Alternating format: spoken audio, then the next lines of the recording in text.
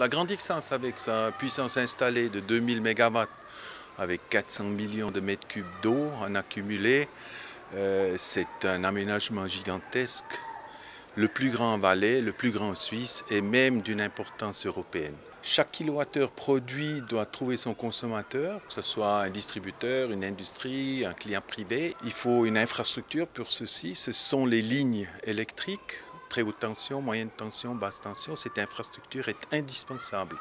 Avec la puissance installée et l'énergie produite en Valais, il faut un réseau qui soit capable de acheminer cette énergie produite. Aujourd'hui, ce n'est pas le cas. Il est crucial de renforcer l'infrastructure comme c'est prévu particulièrement et notamment entre Chamonson et Chipis.